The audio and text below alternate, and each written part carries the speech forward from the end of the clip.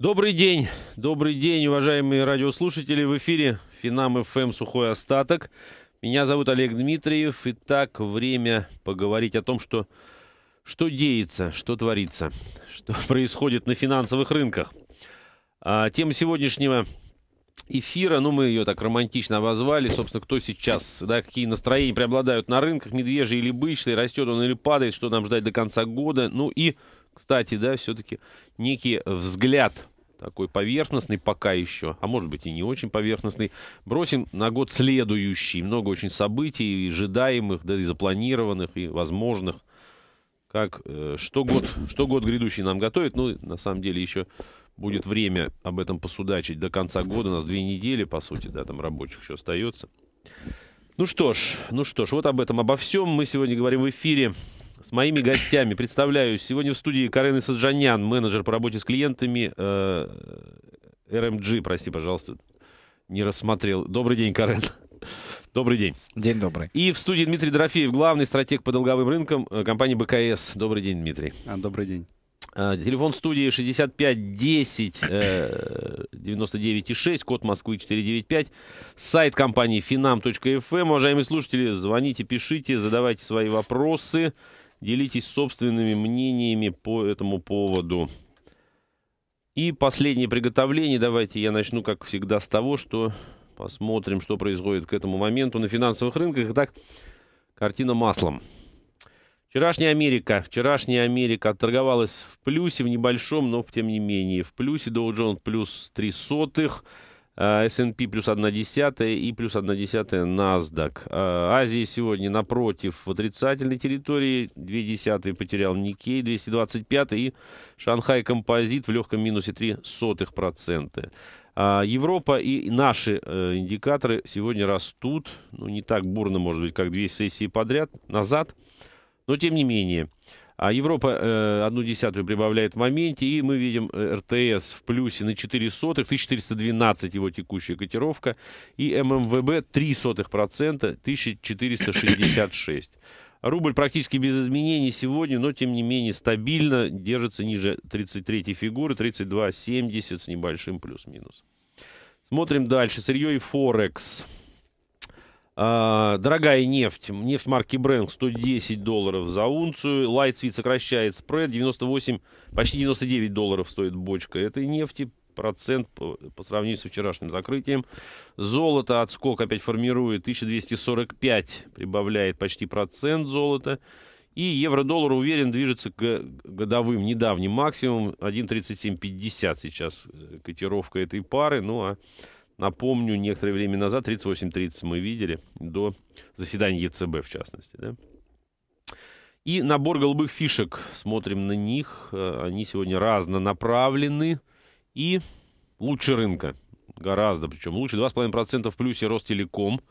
Далее 1,5% Аэрофлот. И процент НЛМК бычка прибавляет. Сегодня полпроцента Уралкалий. Хуже рынка «Газпром» минус 0,3%, почти процент теряет МТС, минус 0,7 Роснефть и минус э, 0,3 Северсталь. Ну, такая разнонаправленная динамика, хотя все-таки смотреть на индексы в целом, да, температура по больнице, она все-таки положительная, потихонечку а, прибавляют они. Итак, давайте начнем нашу беседу. Карен, первый вопрос. Ну, опять-таки, если э, формулировать э, да, или еще раз произнести заголовок, вот на твой взгляд, на рынке сейчас э, какие настроения? Бычьи, медвежьи, неопределенности, там, треугольники кругом сплошные? Ну, самое главное, что я могу сказать, что настроения точно неплохие. Неплохие? Неплохие.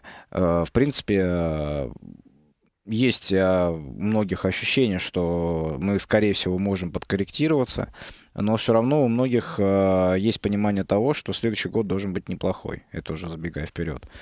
Еще один важный момент, который бы хотелось отметить, это то, что мы видим, а, что даже когда рынок остается да, неактивным и вроде кажется, что будет сползать, отдельные uh-huh. бумаги, да, мы, ну, мы можем сейчас перечислить достаточно большое количество имен, которые, в принципе, даже за последние две недели показали очень неплохие э, плохие результаты. Угу.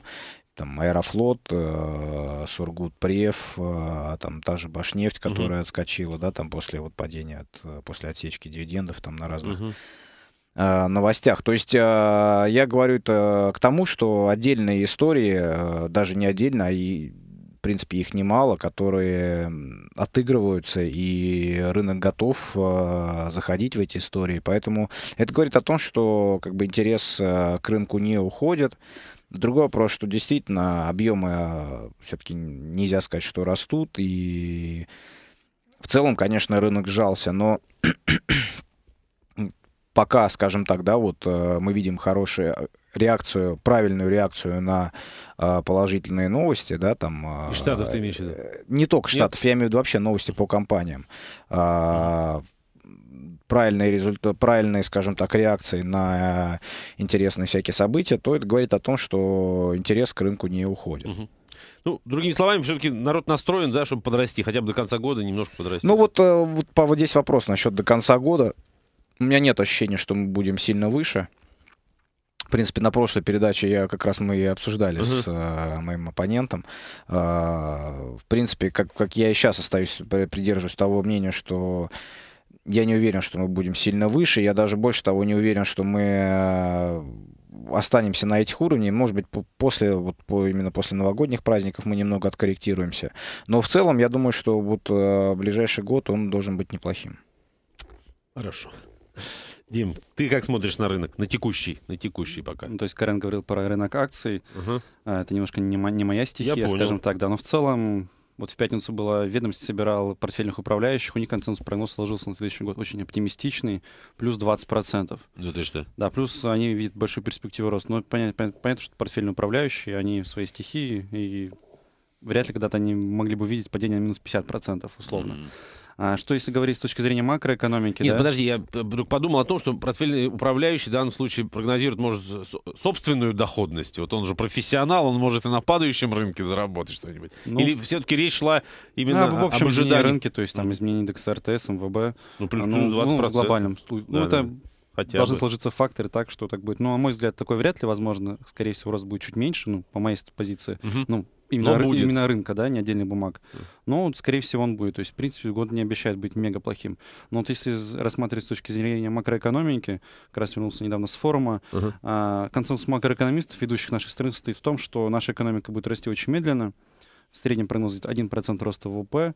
Угу. Там прогноз, Это на следующий год? Следующий год, 14 угу. От минус 1 до плюс 2%. Официальный прогноз сейчас 2,5%. Он, скорее всего, будет нереалистичным. Угу. И в этом плане наш рынок продолжает выглядеть непривлекательным для нерезидентов. У нас нет сильных драйверов роста для всего рынка. Есть драйверы для роста отдельных компаний, но для всего рынка нет. У нас большая зарегулированность компаний, угу. невысокий уровень корпоративного управления, который очень сильно пострадал за последние два года нельзя сказать, что он стал, ну, стал плохим, он просто ну, не улучшился за два года. И это все очень сильно влияет на потоки нерезидентов, угу. сильно уменьшились обороты на, на бирже торговые упали в два раза. Ну, на этом фоне, то есть, растет привлекательность российского долгового рынка. Также обороты там на долговом рынке выросли больше, чем в два-три раза за последние угу. два года. Сейчас обороты... И для нерезидентов в том числе? А для нерезидентов в первую очередь, потому что они были допущены на рынок в начале а, текущего года, на рынок ОФЗ, и сейчас они делают где-то половину всех оборотов. Сейчас оборот долгового рынка в дневной в три раза больше, чем э, оборот рынка акций. Uh-huh. Бешеные обороты, большой приток. Ну, плюс нерезиденты теперь делают большие обороты на рынке, в валютном рынке, через небольшие потоки проходят, uh-huh. в первую очередь, спекулятивные. Uh-huh. И это ощущается. То есть, в принципе, на рынок акций такой, вот у меня взгляд, ну, умерен, возможно, ну, умеренно оптимистичный, а то до умеренного негативного. То есть, какого-то мега роста там вот лично я вот как рынок и не жду. Скорее всего, следующий год будет такой возможно, более спокойный, возможно, таких коррекций не будет, как в этом году, но, но и мега роста тоже угу. не, не предвидится, на мой взгляд. А до конца года как ты смотришь? До ну, на рынок акций у меня вообще, как бы, мне кажется, нецелесообразно спрашивать, а, что там будет. Ну, спекулятивное движение в конце года, особенно угу. в конце года, там многие бумаги будут переоценены, особенно второго, третьего эшелона, чтобы фондом переоценить. Угу. Особенно в последний день такое часто происходит. Ну, Я посмотрим. Хорошо, посмотрим, действительно. Спасибо. Значит, сейчас мы прервемся, послушаем новости на Финам ФМ, потом продолжим эфир. Ну что ж, друзья, мы продолжаем эфир «Сухой остаток» на Финам ФМ. Меня зовут Олег Дмитриев. Сегодня в студии Карен Исаджанян, менеджер по работе с клиентами РМГ. И э, Дмитрий Дорофеев, главный стратег по долговым рынкам э, компании БКС. Мы обсуждаем, как всегда, текущую ситуацию на финансовых рынках. Все-таки пытался я э, услышать ответ на вопрос, бычий или медвежий. Ну, Карен, я так понимаю, склоняется все-таки да, к позитивному какому-то Да. ожиданию. Вот. То же самое примерно и у Ну, Дмитрия. не- ну, с- нейтрально, умеренно оптимистично. Нейтрально, умеренно. оптимистично. Держать, да? Держать. Как обычно аналитики дают прогнозы. да? Облигации. Облига, да, держать. А, хорошо, значит, мы продолжаем эфир. Я напоминаю, телефон студии 65 10 99 6, код Москвы 495, сайт компании finam.fm. Звоните, пишите, задавайте, задавайте свои вопросы. Карен, значит, если посмотреть на ситуацию более широко, имеется в глобальном смысле, вот хотелось бы твоего комментария услышать по поводу, ну, прежде всего, рынка акций, да, и вообще рынков э, там, э, развитых стран. Америки прежде всего. Ну и историю с э, пресловутым ожиданием сворачивания КУЕ, тем более я напомню, в пятницу на прошлой неделе, да, вышла статистика по рынку труда, вот ее рынок тоже как-то там пытался, э, да, и в пятницу уже Ну, отыграть. и по крайней мере, э, ну, скажем так, именно что пытался, потому что как бы вот эта вот э, отрицательная волна, которая была сразу после Сразу выхода после хоро- хорошей статистики, в принципе, потом все вернулось э, обратно на те же уровни. Ну, э, понятное дело, да, что, э, естественно, есть такое ощущение, ну, не ощущение, скажем так, такой страх у инвесторов, да, что там чем лучше статистика, тем как бы больше вероятность сворачивания программы Ага. количественного смягчения. Но, с другой стороны, если посмотреть, э, то, э, в принципе, э, у меня, честно вам скажу, нет ощущения, что программу будут сворачивать вот какое-то ближайшее время. Мгм. Это раз. Во-вторых, э, я, хотя я уверен, что, возможно, действия какие-то начальные в 2014 году уже предприняты будут. С другой стороны, это будет говорить о том, что как бы экономика все-таки действительно там отчасти восстанавливается. Здесь, на мой взгляд, еще имеет смысл... Американская экономика. Да, здесь имеет смысл, на самом деле, пристальное внимание обращать на именно не только рынок труда, но еще на промпроизводство, Мгм. Потому что все-таки мы понимаем, что, да, а, надо смотреть там, потому что финансовый сектор, да, а, в принципе, как бы он вот благодаря вот всяким программам количественного смягчения, он, естественно, быстрее восстанавливается. А вот как, как, как деньги доходят до реального сектора, вот это вот а, гораздо более важный вопрос. Поэтому а, вот этот еще момент именно по промпроизводству. И еще такой момент, что страхи такие есть, э, но нужно понимать, что если э, частично программа сворачивается или полностью сворачивается программа, то реакция рынка может быть вполне достаточно короткой. Ага. То есть вот эта негативная волна, она может быть короткой. Потом э, начнут все переоценивать как бы, да, реальную ситуацию. Мгм. И, в принципе, надо же понимать, что э, как бы изначально такое движение раскачивать лодку будут спекулянты. Поддержат ли ее инвесторы? Вот еще вопрос, потому что, да, все равно есть риск, что вы там свои большие позиции потом откупить по тем же ценам не сможете. Мгм. Вот, поэтому как бы говорить о том, что будет отриц- однозначно отрицательная реакция, на мой взгляд, это неверно. А, Раскачка, конечно, она вполне вероятна. Мгм. То есть э, будет достаточно большое количество спекулянтов, которые захотят сыграть там, да, вот именно на понижение. Мгм. И, в принципе, скорее всего, я думаю, заработать на этом удастся. Весь вопрос, насколько долго это будет продлеваться, и сможет ли инвестор, который скажем так, откроет более длинную позицию, Мгм. сможет ли на этом заработать? Вот Мгм. это вопрос. Этот вопрос, да, это вопрос. Кстати, ожидание э, начала сворачивания на декабрь месяц э, нет у тебя? У меня нету. На следующем заседании нет? У меня нет. То есть заседание уже вот-вот, да, как бы у нас грядет. Мгм. А, честно вам скажу опять, да, как э, смотрим, слушаем пристально по поводу комментариев, да, Мгм. пытаемся найти Да. э, недосказанные намеки, вот, но Между строк. Читаем да, между читаем строк. между строк, но думаю, что вот сейчас вот кардинально никаких мы таких Я вещей не услышим. Дим, возвращаясь э, к твоему рассказу о недавно э, не- недавнем форуме, да, Да, который то ты посетил. я- Я Извини, пожалуйста. Я хотел уточнить вот что. Ожидания о э, замедлении российской экономики, ну, вероятно, эти ожидания базируются и на событиях внутри России, но и в том числе, может быть, да, эти ожидания связаны с тем, что э, вот сейчас мы обсуждали, что в Америке грядет все-таки начало э, сворачивания КУЕ-3, и не поздоровится всем, и в том числе и развивающимся рынкам. Как ты считаешь? Ну, ну, естественным образом. То есть, в принципе, по поводу QE3 сейчас а, треть опрошенных экономистов Bloomberg ожидает сворачивания уже, что, что, что начнется в декабре. Угу. И 40% ожидает, что начнется лишь в марте следующего года. А, Билл Гросс, управляющий крупнейшего фонда, бандового фонда, у которого активов больше, чем на 1 триллион долларов, ожидает, что 50 на 50 объявят, не объявят. Моя, моя позиция состоит в том, что сейчас все основания для объявления сворачивания есть вся экономика очень сильно улучшилась за последний год действия QE3, и сворачивать могут начать. Но, опять же, а, сейчас не очень хорошее время для начала сворачивания, потому что mm-hmm. в, в январе с большой долей вероятности повторится октябрьский шатдаун, ожидается повторение шатдауна, и в свете него ФРС может опять нанести достаточно сильный урон рынку, если сворачивание QE3 mm-hmm. совпадет с шатдауном. В принципе, моя позиция стоит в том, что QE, оно, в принципе, неэффективно для стимулирования роста рынков. Она вот сама по себе программа и она лишь несет информационный эффект. То есть, если программа работает, ФРС продолжает, то можно покупать рисковые активы. А вот если ФРС начинает сворачивать, то все, монетарная политика начнет ужесточаться в скором uh-huh. времени. Это просто рынок интерпретирует как сигнал покупать, продавать. Понятно. Потому что люди все всегда упрощают, сложно воспринимать сложные вещи, а тут uh-huh. все просто стимулируют, покупаем, покупаем да. начинают сворачивать, про, э, уменьшать, продаем, uh-huh, все. Uh-huh. А, такая логика немножко ну, не оправдана, потому что в рамках действия программ QE больше 90% всех активов было скоплено на избыточных резервах банки ФРС. Uh-huh.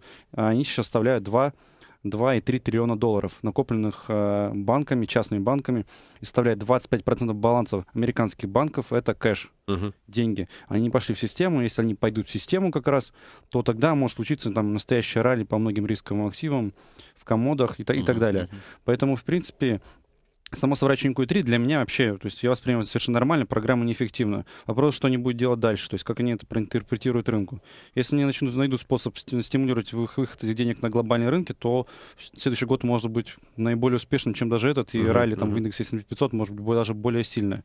Ну, просто как раз, что будет делать А ФРС. у них есть вообще такая необходимость, э, чтобы а эти деньги есть, вышли на рынок? Есть, потому что рост неустойчивый, безработица все-таки в широком плане стоит очень высокая, uh-huh. коэффициент участия в рабочей силе находится на уровне 35-летней давности, и рабочие места еще даже не достигли того пика, который был в 2007 году. Uh-huh. Поэтому, в принципе, в 2007-2008 годах. Поэтому, в принципе, потенциал есть для стимулирования, то есть вопрос, то есть как она будет меняться. А, вот если говорить про нашу экономику, да, а, был на российском облигационном конгрессе 11 по счету уже uh-huh. проводит его Сибонс. А, там были две панельные дискуссии основные. Там дискуссия макроэкономистов, дискуссия рыночных аналитиков, которых, модераторов, который был я. Uh-huh. А, ожидания макроэкономистов российских. Экономика замедляется, все будет достаточно плохо, мировая экономика растет, но Россия в этом росте, по сути, не будет участвовать, в рост пропустит.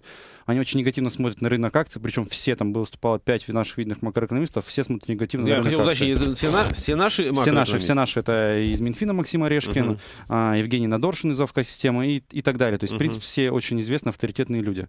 Они смотрят э, возможность, видят понижение ставок по э, репостным ключевой ставке с нашего центрального банка и ожидают очень сильную девальвацию рубля, да, и примерно 35 рублей по итогам следующего года. Ну, кто-то больше, кто-то меньшей степени.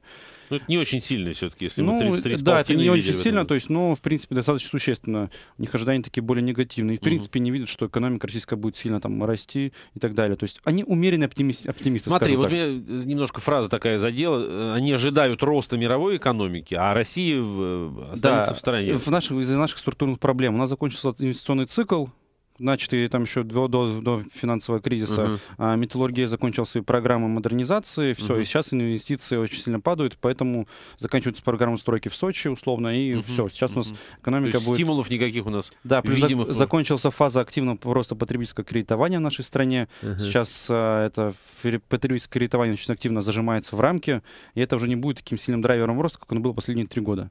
Поэтому вот у нас пропадают наши внутренние факторы роста без проведения структурных реформ, uh-huh. и нет особых мощных факторов роста для глобальной экономики, то есть там ускоренного роста потребления нефти, то есть резкого роста uh-huh. потребления uh-huh. железной руды, кокса и так далее. То есть и в этом плане металлурги тоже вы, выглядят, металлурги не очень привлекательно. Uh-huh. Ну, условно, то есть в глобальном плане. Там не мега рост 100% условно. Ну, это понятно, что не 100%, да, уже да. глупо, глупо вот, было бы А мы, рыночные аналитики, которые там было представлены, все крупнейшие наши представители, директора аналитических департаментов всех наших госбанков и крупнейших частных банков, uh-huh. в принципе, более оптимистичны. Мы также ожидаем слабого роста экономики, ожидаем небольшого снижения процентной ставки в нашей стране, 25-50 базисных пунктов, ну, до полупроцента. Ну, что, ставки рефинансирования идет речь? Ну, да, ключевой ставки репост с ЦБ недельной. А. Ну, то есть она сейчас ключевая. То да, есть да. мы видим, ожидаем неумеренного роста долгового рынка, там, умеренной доходности. Но, опять же, тоже не видим там какой-то мега роста в, на, на рынке акций. Угу. Но в целом нельзя сказать, что мы находимся на обочине мирового прогресса. То есть у нас сейчас очень хороший центральный банк, новая команда очень хорошо работает. Также активно обсуждали текущий там по сути, мини-банковский кризис, связанный с отзывом лицензий ряда крупных участников. Это особенно сильно ощутилось на рынке облигаций, потому что были продажи последние неделю-две от всяких банков крупных. Ну, мелких. похоже опять на спекулятивную реакцию. Нет, там же. даже не спекулятивная реакция, потому что многие банки на, друг на друга закрывают торговые лимиты, mm-hmm. закрывают, снижают свои риски. От греха подальше, что да, так и это, это? да, это провоцирует просто рост продаж на долговом, на долговом рынке, mm-hmm. который, ну, в принципе, самый ликвидный для, mm-hmm. для них точки, их точки зрения. Поэтому в нашем секторе две недели, три недели были такие продажи продажи. Но в целом, то есть, вот моя позиция была самая оптимистичная, в принципе, среди всех участников из аналитических, кто представлял аналитические департаменты. Я уверенно смотрю, что наш рынок, в принципе, хороший, финансовых услуг, в принципе, будет развиваться, все будет хорошо с нами. Ну, слава богу. Давайте еще раз прервемся, послушаем новости на Финам ФМ, потом Итак, друзья мои, продолжаем эфир. Сухой остаток на Финам ФМ. Обсуждаем ситуацию на о финансовых рынках. Ну и сейчас как-то заговорили мы о 2014 годе, да, некие прогнозы пытаемся сейчас озвучить. А, причем а, не только прогнозы моих сегодняшних гостей, да, и других не менее уважаемых аналитиков. А, по поводу гостей, еще раз я напомню, сегодня в студии э, Карен Саджанян, менеджер по работе с клиентами инвестиционной компании РМГ, и Дмитрий Дорофеев, главный стратег по долговым рынкам компании БКС. Телефон студии 65 10 99 6, код Москвы 495, сайт компании finam.fm. Эм. Ну, вернемся, собственно, да, к разговору о э, следующем 2014 годе. Э, озвучил Дима, да, ожидания и свои, и коллег, которыми пообщался на форуме. А, Карен, а ты как видишь все-таки э, следующий год более детально, если можно, и с точки зрения глобальных событий каких-то, и с точки зрения локальных? А, Будет... Что, угу. что касается а, глобальных событий, да, то есть а, здесь а, приоритет не изменится. Опять мы будем смотреть, а, как и раньше, на Федрезерв, а, на Федрезерв. Угу. мы будем смотреть, как я уже говорил, на статистику труда из США, на промпроизводство США. А, также мы будем смотреть, а, естественно, на котировки нефти. Э, мы будем смотреть на фактически те же макроэкономические показатели Европы. Угу. Плюс мы, наверное, будем э, дальше смотреть, как бы, да, что происходит в России. Вернее, уже будем смотреть не мы, а потенциальные иностранные инвесторы. Mm-hmm. Да? Они будут смотреть, насколько правительство, скажем так, сдерживает свои обещания по улучшению инвестиционного климата, насколько, вот правильно то, что Дмитрий подметил, скажем так, да, вот закончится Олимпиада, в принципе, это был достаточно мощный очень такой толчок для экономики, mm-hmm. то есть там инфраструктура сильно росла, мы видели большое количество да, инфраструктурных компаний, которые были задействованы именно вот в подготовке Олимпиады. Часть из них торгуется на бирже. Вот, кстати, что вот тоже, например, на мой взгляд, не очень хороший фактор, то, что там компания та же Мостотрест, которая, mm-hmm. да, там э, так или иначе задействована. На, на котировках я не могу сказать, что это сказалось. Да? А, другой вопрос, что здесь тоже есть некий момент, скажем так, не, не только чтобы сезонности, сколько, да, отсрочки там оплаты и uh-huh, так далее. Uh-huh. То есть, в принципе, э, но в любом случае, на мой взгляд, как бы инвесторы должны это закладывать. То есть, вот, например, для меня непонятный момент, почему компания Мостотреста стоит вот тех денег, которые она сейчас стоит, а они там минимум на 50% выше. Uh-huh. То есть здесь уже возникают вопросы действительно, наверное, корпоративного управления и так далее. А, также я думаю, что мы будем э, также пристально смотреть и, в принципе, как э, участники рынка будем ощущать выводы денежных средств да, из России или притоки.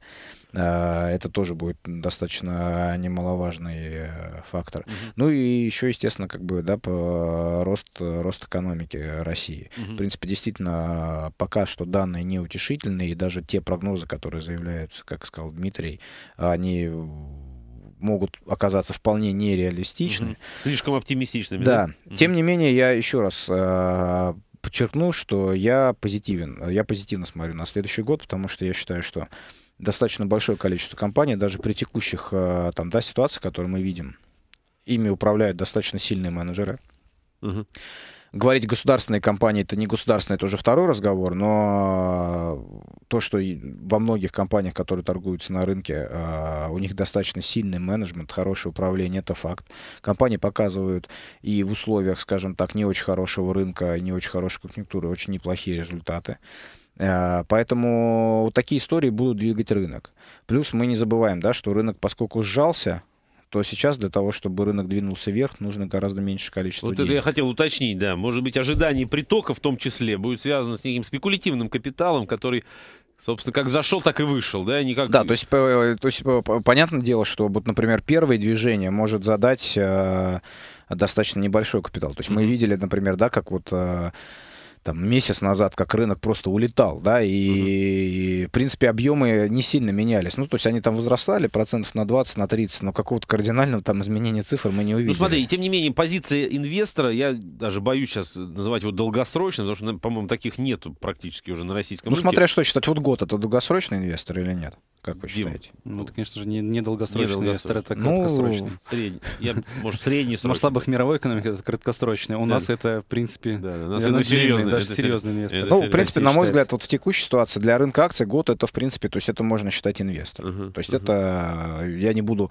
бросаться там э, такими определенными словами, долгосрочно или нет, но это uh-huh. инвестор. То есть это человек, это, ну да, может быть, ну, да, это, это, это, это не это пози... да? да, это, это не спекулянт. То есть э, uh-huh. это... Плюс мы видим, да, э, не, скажем так, не утихающий спрос в дивидендных историях, да, мы видим, что все вот э, там, давайте возьмем там Сургутнефтегаз, э, Башнефть, МТС, вот АФК-система, да, которая, скажем так, сейчас находится на своих фактически исторических хаях, угу. просто из-за того, ну, скажем, да, там, из-за возможности выплаты высоких дивидендов, да, там, благодаря угу. каким-то сделкам. То есть это говорит о том, что с одной стороны инвесторы ищут более или менее тихо спокойную гавань, да, с другой стороны, что все-таки э, мы видим результаты хорошего управления на российском рынке. Угу. Поэтому вот такие истории будут как бы держать рынок, э, будут толкать его вверх. Я понял, я понял. Ну, Но просадки будут, то есть волатильность будет оставаться. Естественно, мы понимаем, что когда рынок не, не такой ликвидный, то волатильность на нем будет достаточно высокая. Дим, возвращаясь к твоей теме, да, собственно, к рынку обли... облигаций. Ну и, в принципе, любой другой рынок. Из глобальных. Из глобальных. Ну, ладно, я, мы сейчас все-таки обсуждаем рынок российский, да, и э, рынок бандов.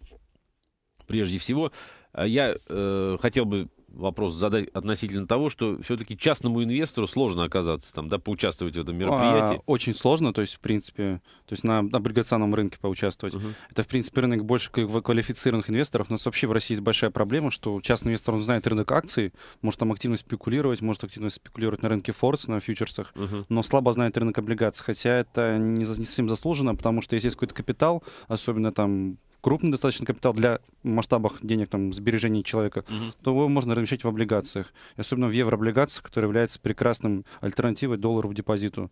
В долларах э, можно с умеренным риском зарабатывать больше 10% в облигациях наших крупнейших компаний. С плечом, без плеча. Uh-huh. С, без плеча в облигациях э, розничных банков, ну, самых наших известных розничных банков можно 10% в долларах без плечей. После а, последних, после известных событий, да, недавних? Даже, нет, даже и, и раньше можно было. Раньше uh-huh. можно было еще больше получать, сейчас, наоборот, даже меньше. Доходности сильно снизились. Uh-huh. Но, все, но все равно можно наших хороших голубых фишках зарабатывать.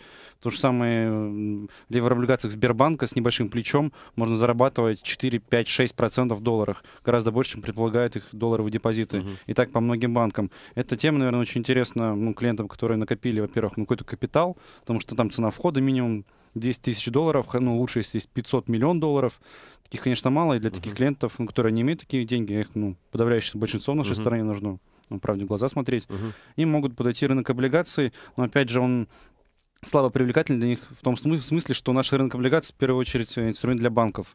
И для частного инвестора он может вос, ну, востребован в том плане, что часть средств, которые они размещают на рынке акций, он может покупать облигации и в них получать какой-то, хоть какие-то деньги. Условно там 9, 10, 12 процентов годовых он может получать.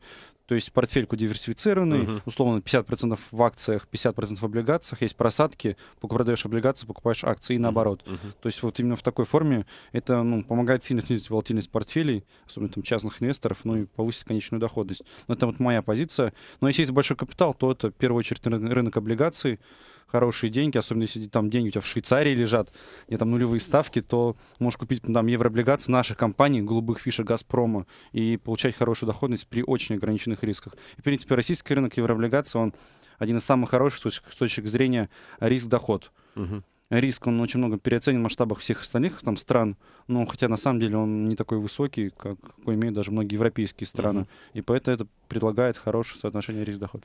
А тогда можешь ли ты, Карен, да, тоже присоединись к этому э, разговору, можешь ли, мож, можете ли вы мне объяснить, а почему же все же э, для иностранного инвестора прежде всего э, интересен российский рынок облигаций и не интересен российский рынок акций? А, в облигации позволяют размещать большие средства на длительный срок. То есть сейчас доля нерезидентов на сегменте государственных УФЗ, длинных, больше 10 лет сроком инвестирования, больше 50%. Угу. А совокупная доля на рынке 25% инвестировано, порядка, ой, порядка 30 миллиардов долларов зашло за последние два года на рынок российских облигаций. Угу. В следующем году будет открыт наш рынок корпоративных облигаций для нерезидентов. Они смогут напрямую их покупать, продавать через Евроклир. Это еще повысит спрос нерезидентов. Угу. А, ну, нерезидентов у них просто гораздо меньше аппетита к риску, доходность условно реальная там в 5%. 5, 6, 7 процентов для них это хорошо. Для наших физических лиц это мало. То есть угу. им гораздо интереснее рынок акций, где можно поспекулировать, побольше заработать, но с большим риском. Ну, то есть в этом все дело, да? Ну, есть, больш... здесь смотрите, да, то есть вот э, важный момент, то, что Дмитрий указал, действительно, то есть для, для что важно для иностранного инвестора? То есть, естественно, важно в первую очередь заработать. Весь вопрос, что понимание заработать угу. у нас, ну, как бы несколько отличается. Второй момент это, скажем так, удачно, ну неудачно, а правильно разместить большой объем денежных средств. Угу. Пока что вот российский рынок акций, он, э, вот его ликвидность, она как бы сжалась, да, и поэтому, скажем так, вот большой объем, чтобы зашел, например, в какую-либо бумагу, э, это, во-первых, вызовет, а, э, рост котировок, угу. то есть, и Б, у тебя, скажем так, еще есть э, риск выхода, да. Угу. То есть, например, э, например, происходит какая-то там, да, вот ситуация, которая вот ты, например, не закладывал, не закладывал модель. Мы не говорим о том, что это может быть крайне негативное, да, и надо будет а, бежать просто, да. Угу. То есть просто не то, то есть как бы да, любой управляющий, он у него там, чтобы он проинвестировал в определенный инструмент, у него должно быть там энное количество пунктов, почему за, и энное угу. там количество пунктов, почему против. То есть и формируется какая-то модель. Если у него происходит какая-то, да, вот а, ситуация, которая в модель не заложена, то есть, естественно, эта модель тут же начинает пересматриваться. Mm-hmm. Если она пересматривается с а, результатом того, что тебе нужно выйти из бумаги, да, то вот у тебя здесь еще возникает один риск. То есть, грубо говоря, выйти там на... Зайти... То есть да, резко обрушивает, да? Да, то есть у тебя, ты просто из-за такой невысокой ликвидности, ты можешь просто там не разгрузиться по той цене, по которой ты хочешь разгрузиться, не mm-hmm. разгрузиться так быстро, как насколько ты хочешь это сделать. Ну и вот со всеми вытекающими отсюда последствиями. То есть в первую очередь это ликвидность. А второй момент это все-таки э, сейчас надо понимать, да, как бы кто инвестор э, в рынок облигаций. То есть вообще, в принципе, угу. рынок облигаций это банковский бизнес. Почему вот мы говорим, да, что почему вот физики не идут на, на российские физики, да, угу. вот на рынок облигационный? Потому что этот бизнес забрал банки. То есть глобально физику гораздо проще принести и положить деньги на банковский депозит и при этом получить какую-то гарантию того, что эти деньги э, вернутся. Потому что все-таки, я вот договорю, да, да? да? То есть вот а, здесь какой момент? Что если ты покупаешь акцию, и она может упасть, она может вырасти, да, но у тебя все равно есть актив, у тебя есть часть. Здесь ты покупаешь долг, который, в принципе, а, потенциально риск невозврата долга, он остается, как бы, да. В этом плане банк тебе, как, как посредник, он это нивелирует. То есть ты, ты, например, там по рублям ты жертвуешь там а, тремя-четырьмя процентами, при этом у тебя есть какая-то гарантия. Поэтому для, скажем, физиков мне как бы выбор здесь понятен и довольно-таки для меня лично угу, очевиден. Угу. А, для нерезидентов же немного другая история, да? Сейчас, извини, расскажешь про нерезидентов. Я просто подумал о том, что получается, что э, э, физи... частное лицо, да, физик, как вы их называете, несет деньги в банк, э, размещает на депозите, а банк, соответственно, эти деньги... Покупает облигации. На них покупает облигации. Ну, да, либо торгует разные. на межбанке. То есть обычно, на, вот если российский долговой рынок внутренне рассматривать, ставки на депозитные гораздо выше, чем по облигациям, потому что облигации ты можешь зареповать в ЦБ под гораздо ниже низкую ставку. Uh-huh. То есть это выгодно банкам. Uh-huh. А частным физи- физическим лицам это невыгодно в плане размещения средств. Я понял. Давайте еще раз новости, потом продолжим эфир. Ну что ж, друзья, продолжаем эфир. Сухой остаток на Финам ФМ. Ну, как всегда, да, обсуждаем текущую ситуацию. Карен, прервал я тебя, давай сразу продолжим. Итак, мы говорили об интересе э, у частного инвестора к рынку облигаций, и этот интерес, он, может быть, и наблюдается, да, но возможности, к сожалению, порой не позволяют частному инвестору инвестировать именно в Да, и здесь э, то, что я вот э, хотел досказать, э, в принципе, поскольку облигационный рынок это, в принципе, это банковский бизнес. Угу. И так сейчас, скажем так, да, вот все программы и количество смягчения, и вообще в целом монетарной политики на Западе, они привели к тому, что большое количество денежных средств сформировалось в первую очередь у банков, и в вторую очередь у больших корпораций. То есть у них реально там много кэша, который им надо потратить. Угу. Естественно, не, ну, скажем так, ни один э, риск-менеджер не позволит э, корпорации, которая занимается там, э, допустим, промышленным каким-то производством, инвестировать в акции. Угу. Потому что, ну, это совершенно не профиль, это, это рискованно и так далее. Поэтому, естественно, вот для таких вот историй и э, облигационный рынок это идеально подходит. То есть угу. есть возможность, да, как, каким-то образом управлять своими рисками. То есть, во-первых, в первую очередь диверсифицируя портфель. Второй, второй момент, ты можешь разместить большое количество денежных средств. Угу. Вот. Естественно, тебе э, скажем так, да, рынок акций это, ну, как бы, то есть это для тебя точно не подходит. Кто является главным инвестором в рынке акций? Это хедж-фонды, это управляющие компании, это различные подразделения wealth management и так далее.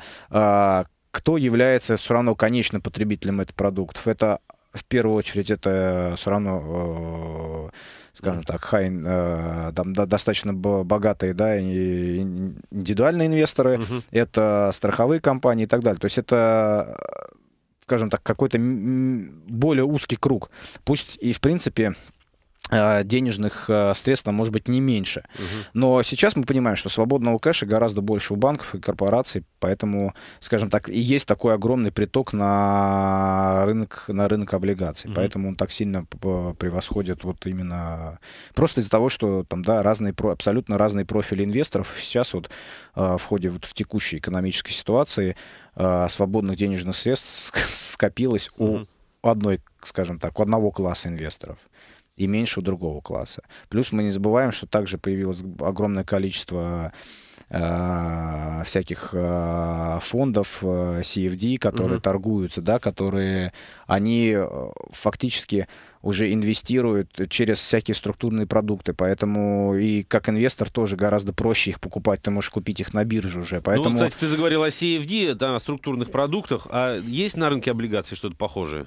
Конечно же, это сам, вот самый большой рынок в мире, это и рынок э, процентных деривативов. Uh-huh. Он просто огромный, исчисляется десятками триллионов долларов, самый ликвидный. Самый ликвидный инструмент ну, в глобальном плане это десятилетний US Treasuries. Uh-huh.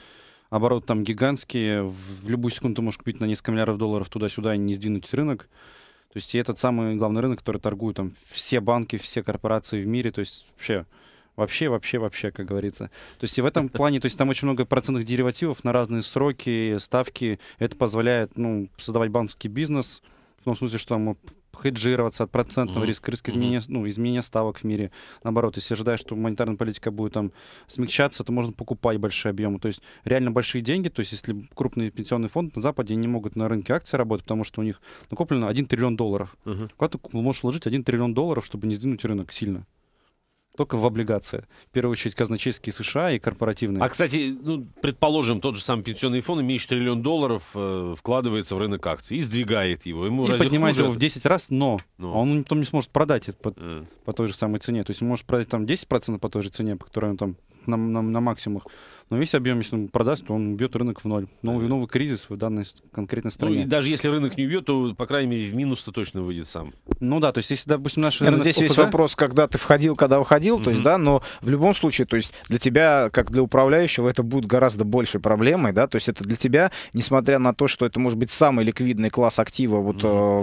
в данной системе, mm-hmm. там, да, и в данной стране, все равно для тебя это может быть гораздо большим э, неликвидным в целом по отношению к другим вещам, в твоем же портфеле, uh-huh. да, то есть у тебя там, может быть, я не знаю, на, там, на 100 миллионов долларов Сбербанка или там на миллиард, например, даже, да, uh-huh. допустим, гипотетически, да, или там на миллиард долларов у тебя там US Treasuries. От чего быстрее ты избавишься, как бы? Ну, то есть от US Treasuries ты избавишься в течение минуты, наверное, а, uh-huh. от, а от Сбербанка ты можешь... Ну, да, то есть, в принципе, это вообще признано, ну, общая там диверсификация и диверсификация, диверсификация. То есть акции, то есть там гораздо меньше объем размещен пенсионных средств, ну тоже большой, вот, Мгм. глобальный фонд если рассматривать.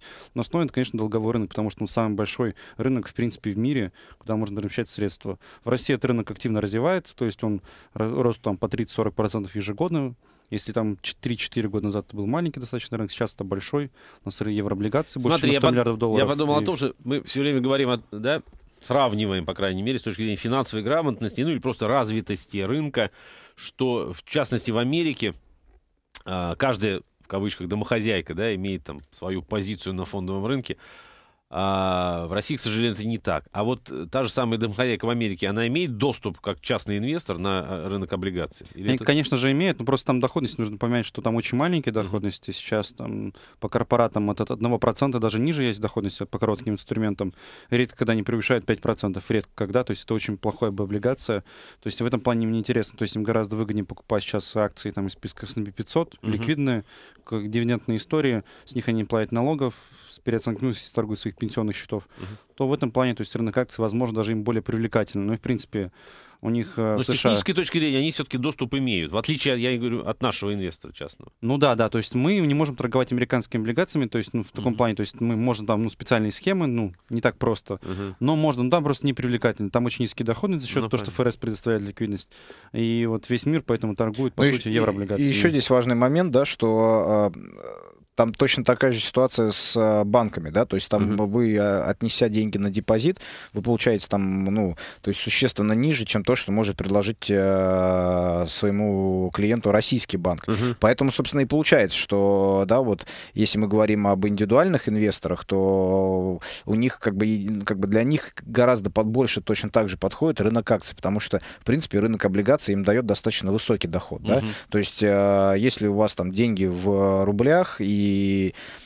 то вам даже проще купить акцию с, какой-то дивидендной историей Мгм. и зарабатывать на А, на возможном росте котировок, и Да, плюс и получать дивиденды дивиденды. еще. Да, и тогда вы вполне вероятно об- обгоните депозит, чем если вы купите, например, там а, рублевый бон. Поэтому здесь, опять-таки, да, это просто разделение на классы. Это Дима просто- не согласен. То есть рублевый бонд будет интереснее быть, чем Ну, я конечно же, дивидендную бумагу даже, возьму. Нет, даже рублевый бонд может быть интереснее. Может да. быть, конечно, может быть, да, но здесь э, надо понимать, что это рублевый бон будет уже, как бы, да, ну, там, не, это будет второй эшелон считаться. Ага. То есть, э, опять-таки, и, скажем так, нам, да, вот если смотреть там на стакан там второго, третьего эшелона, там, облигаций, ну, Дим, ты согласись, что там э, ликвидность тоже, ну, как бы Ну, невысокая, вообще, да, там... то есть я повторю мысль, что вот рублевые облигации для локальных инвесторов не, не привлекательны. Привлекательны только еврооблигации, выраженные в долларах, которые ты можешь получать рублевую доходность, это плюс 6% по текущим котировкам. И вот там, ну там ограничение, что тебе нужно иметь минимум полмиллиона долларов, Ну, чтобы там, понятно. там работать. А еврооблигации, можешь, то- это что значит евро? Это, Это просто евро, это облигация, это обращаешься на международном рынке, у нее нет определенной страны, где она обращается. А. То есть это обычно, ну, обычное Просто- название просто для так Ну, международной это, это- облигации, не- да. ну, это, ск- скажем, это, так скажем так, да, если мы говорим про российские компании, да, то это долг российских компаний, который номинирован в иностранной валюте. Ну да, и они просто выпускаются обычно там на ирландской бирже и так далее. То есть, но у них нет и регулятора единого финансового, просто торгуют институциональные инвесторы. Еврооблигация, такое ее название. Да. Да. Причем это долг российской компании и не обязательно иностранцу. Это может быть... Ну, как нет, правило, это как просто Кто ее купил? ну, Э, Это просто выпуск э, вне в родной валюте для компании. То есть, И, есть скорее в всего, рублях, и вне, долларах. э, скажем так, вне юридической, ну, то есть вне Да, России. еврооблигации они не регулируются никакой страной, то есть это Мгм. международный рынок, то есть и регулируются только самими институциональными инвесторами. Мгм. То есть в этом их пре- преимущество. Но ограничение для частного инвестора это полмиллиона долларов минимум. Есть деньги, ты можешь с сравнительно маленьким риском получать 12-15%. Спекулятивные там также можно спекулировать, также можно потерять, если ты будешь активно спекулировать, но можно заработать. В прошлые года была высокая доходность, сейчас меньше. А спекулировать они, в смысле... И, и, э, Сильно меняются котировки. цен- да, в ценах То есть там меняются. за год, вот наш сейчас самый длинный евробонд по-российски, Раша 42 был самый ликвидный, Мгм, а за год он упал на 25%, потому что так кривая процентных ставок Мгм. сдвинулась. мгм, Но за год он до этого ты смогли, инвесторы могли заработать там 25%. мгм. То есть, ну, это самый длинный евробонд, то есть самая высокая волатильность. Если покупаешь более короткие евробонды, которые гасятся там через 3, 4, 5 лет, там волатильность меньше, и там, ну, прогнозируемость выше Я понял. доходов. Здорово, здорово. Ну, видите, какой мы сегодня ликбез устроили еще, да? Столько Дима приехал, главный стратег. А, Давайте, у нас есть минутка, еще полторы, может быть. Я бы хотел ваше мнение по э, рублю. Э, услышать, э, что будет до конца года, ну и ближайший опять на 14. Вот смотрите, э, значит, 31,60, 33,50, в общем, годовые максимумы практически увидели, сейчас 32 60 пусть будет, да, в середине этого диапазона что-то будет меняться. я думаю, года. до конца года я не думаю, что сильно. Потом, возможно, наверное, мы можем корректироваться. Наверное, там надо смотреть еще на евро. В принципе, евро может достаточно сильно укрепляться, mm-hmm. на мой взгляд. А, плюс а, к весне, наверное, там будет уже период налоговых выплат. Там есть вероятность, что рубль будет укрепляться. Но, на мой взгляд, сейчас правильно смотреть еще и на евро. То есть, mm-hmm. на евро мой... против рубля. Да, то есть mm-hmm. у евро достаточно такая сильная позиция, на мой взгляд. Потому что евро-доллар растет, да, Дим? Ты ну, в принципе, до конца года рубль может, ну, стандартная волатильность плюс-минус 1%, ничего серьезного сейчас произойти не должно. Первый квартал для России самый хороший, профицит торгового баланса. Традиционно рубль последние пять лет в первые три, три месяца растет. Высокие экспортные поставки газа в Европу, uh-huh. низкий импорт услуг, товаров, потому что основной сезон заканчивается именно осенью, осенью зимой, теку, ну, до Нового года. Uh-huh. Поэтому первый квартал, я думаю, рубль может хорошо укрепиться относительно бивалютной корзины, и там по евро-доллару, как поведет пара себя, немножко непонятно, но в целом, то есть, есть тенденция к укреплению. Uh-huh. И вот, ну, в апреле нужно будет уходить там, в девальвационную волну. В мае рубль последние пять лет всегда падал, так же, в августе, там, ну, есть объективные факторы, не объективные, там, uh-huh. sell main, go away, да, как говорится. То есть эти факторы, думаю, будут действовать в полной мере, но по итогам года, то есть я жду там рубль-доллар на курсе 34 плюс. Uh-huh. Ну, то есть недалеко от текущих. Ну, выше, а, кстати, выше. если поменять, да, ожидание девальвации, ну, слово нехорошее, но тем ослабление рубля, это как раз опять придется на весну, да, на второй квартал. Я думаю, да, то есть это ближе к маю. Огромное спасибо, Карен Саджанян, Дмитрий. Дорофеев. Сегодня были в студии Сховостатска. Мы обсуждали текущую ситуацию, поговорили о рынке облигаций в том числе. До свидания, успехов. Экспертное радио.